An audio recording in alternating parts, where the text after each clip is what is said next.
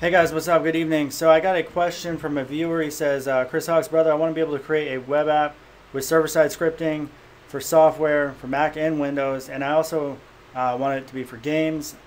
What are the two or three languages I should learn first? So um, the first one that comes to mind, and uh, and really this is the only one I know for this type of situation, uh, that would be C Sharp. I mean, C Sharp for um, Windows, uh, it, it's now cross-platform for both Windows and Mac um, with the new .NET Core. So um, there's really, I think, no other way to go when it comes to games. Now, the reason why games, just because if you're just getting started programming, you don't want to, um, you don't want to get in over your head. I mean, you could, you could probably go with C++, uh, maybe, but let me first try to explain the, the case for uh, C Sharp, and C++ may be my second option there. But Unity um, is a very easy game engine in order to use. So uh, if you have some basic C Sharp experience, then you're going to be able to hit the ground running with Unity relatively well. Now, it's not easy because game development is not easy at all, especially a 3D game engine, uh, which is also capable of 2D and uh, you know work. Obviously, that's a 2D game right there. But um, Unity, I think, may uh, it's just it's it's a great framework and it's built for this the C sharp language. So I don't want to confuse anybody. The actual backend, the libraries that that the, the you know basically the core engine itself is written in C and C++. Uh, but they've opened it up to basically uh, creating an API that you use C Sharp in order to uh, to work with the engine.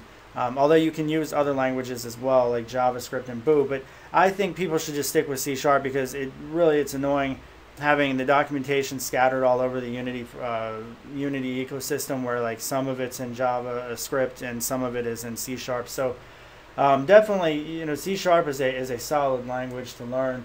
Um, it was you know it was it has a lot you know, the corporate backing of Microsoft obviously so uh, a lot of people don't like Microsoft but uh, the the language was designed really really well. It's completely object oriented uh, it's statically typed and it's it's compiled so it's fast. It's going to be faster than Python it's going to be faster than PHP or Ruby or um, Perl or anything like that um, the documentation, I think, is not very, very forgiving for newbies. Um, this is something where I, I, originally was getting into a C Sharp tutorial series, and I just realized that you know I was getting some feedback. I was moving too fast, and one of the reasons why I haven't given a tutorial in C Sharp is number one, I do it you know day in and day out, and um, you know I, I, just I'm not sure that I, I want to continue monkeying around with it because I, use it during the day. So I try to keep things fresh for me. But in, in addition, it's because it's it's a relative bitch to get started with compared to some of the other languages. I find Python to be much easier. I find Perl to be easier, and Ruby and JavaScript I even find easier than C Sharp. So um, a lot of stuff is very Microsofty. I would say if that's not that's not really a word, but basically Microsoft has like uh, almost like a way of explaining things and a terminology, and even their ecosystem and, and their their hacker community is very Microsofty compared to like some of the Linux and Python guys that uh, that I've, I've also come to know over the years. So, um, you know, those downsides said, if you can learn C sharp, there's a tremendous amount of opportunity out there to make a lot of money. A lot of a lot of companies are you know full C sharp uh, or really .NET is what the, uh, the the ecosystem is that C sharp is is is really built around.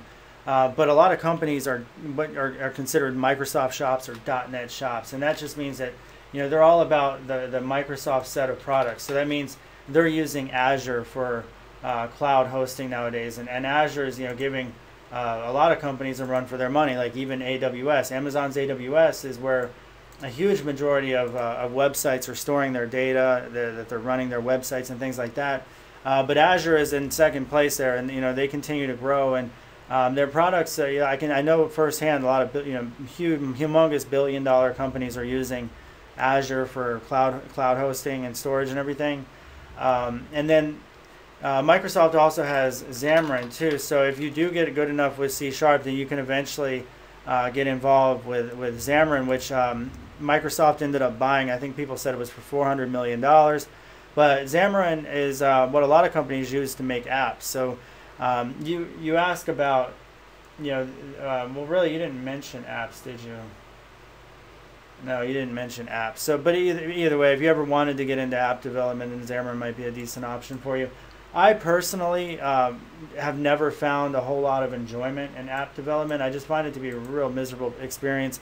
Um, now, I haven't tried to port anything from Unity um, yet, so I'll see if that changes my mind any. But um, you know, it, one of the biggest pains for me with with uh, with app development is that the, the, being able to test them. Like the emulators are absolutely ridiculous to, to have to set up. Like I use Genymotion, and uh, Genymotion actually makes the process a lot easier than I would say that, that it's ever been in the past. But uh, being able to test your Android stuff with all the different Android OSs and and being able to plug in a device that you need to, you know, like uh, through your USB and, and running local apps and things like that, or even setting up an emulator. Like uh, for Xamarin, Microsoft rec- recommends this Hyper-V emulator, but in order to do that, you have to like modify your BIOS of your system, uh, your computer system, in order uh, for some of you know some people like I think my PC needs to to have that done in order to um, to activate it. And I think when I tried to do that, for whatever reason, it said that my computer wasn't even eligible for this Hyper-V.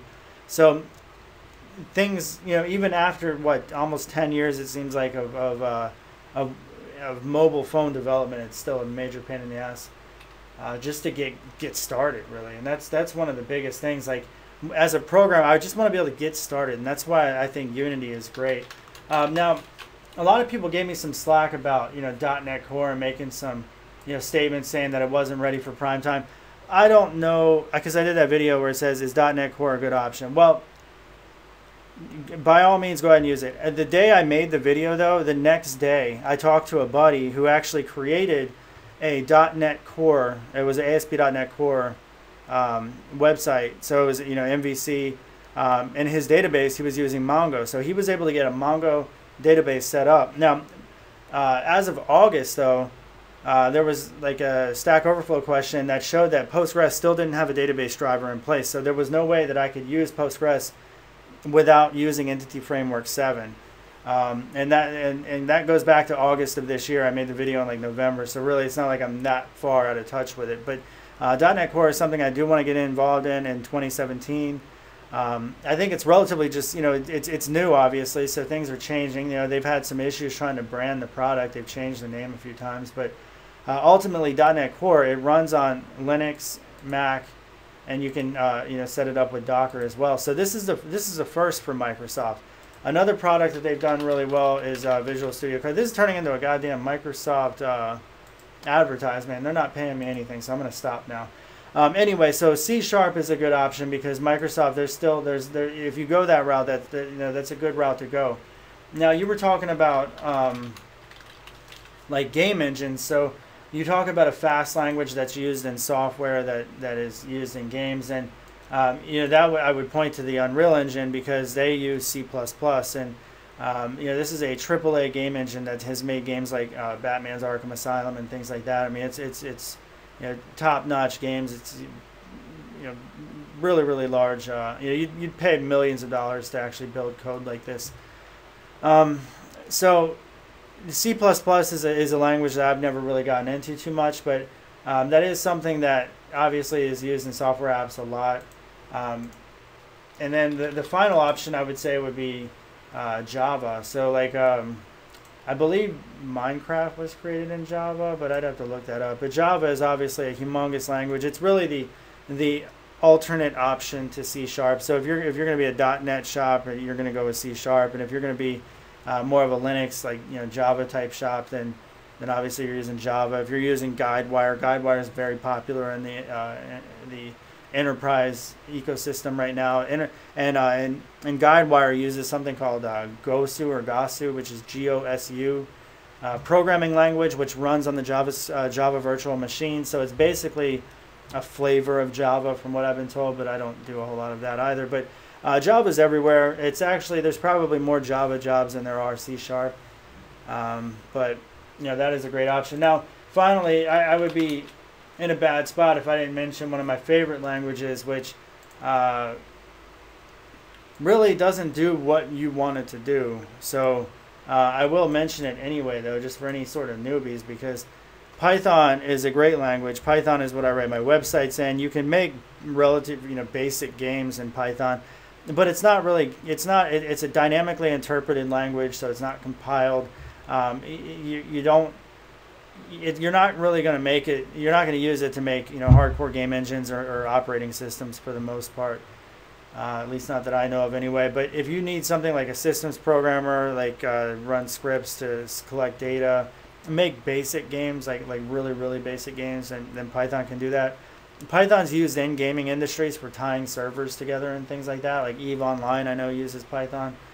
So, and then another thing too is that there are uh, software teams that are using Python as well. So the Python has uh, GUI toolkits like uh, Py, uh, uh, PySide and uh, PyQt. I think it was PyQt or maybe it's just Qt, but um, there, there's a Qt port over to, to Python that, that allows you to write a lot of uh, modern software type apps and, in Python. But um, my, my choices would be C Sharp, uh, probably then Java, then C++, then Python when it comes to your specific question. Um, and I'm curious what anybody else has to say about that. All right, guys. Uh, thanks for watching. You have a good day. Take care. Bye. Hey guys, so I've talked about this a lot. Uh, Dev Mountain Coding Bootcamp, they are my sponsor. They're one of the reasons why I'm able to do these videos. And uh, they offer a 12 week intensive course that teaches you the technologies of the here and now. They're going to focus on a lot of things that are actually being used and websites, uh, things like jQuery, and they're going to be using stacks like Node.js. The 12 week intensive course is to try to get people in the job market. So that is their entire focus. We've, all, we've talked a lot about on this channel whether or not a college degree is worth it. I'm not the one to be able to answer that question for you. I absolutely think that college degrees are great, especially in computer science. I never want to convince somebody to say that they shouldn't do that. Um, you know, obviously, schools like Stanford and MIT, I, am you know, I'm, uh, I'm in envy of all those uh, graduates. However, there is, you know, the bulk of developers that don't necessarily need to be the MIT graduates to actually have success in the programming world. I think I speak relatively uh, well for, for that type of person. And with coding boot camps, we're seeing them um, you know, try to offer more uh, skills, more modern day skills, because a lot of times when you're going to a computer science course in a major university, you're learning technology that's already outdated by the time you're learning it. With Dev Mountain and coding boot camps like what Dev Mountain offers, they're focusing on really what is hot right now. So, and they also focus on a relatively um, you know a small set of skills in, order to make sure that, that they are teaching you what you need to know in order to be productive in a in a workplace environment. So make sure you guys uh, do me a favor, do yourself a favor, check out the link in the in the description tab below for more on Dev Mountain Coding Bootcamp. Thanks guys. Bye.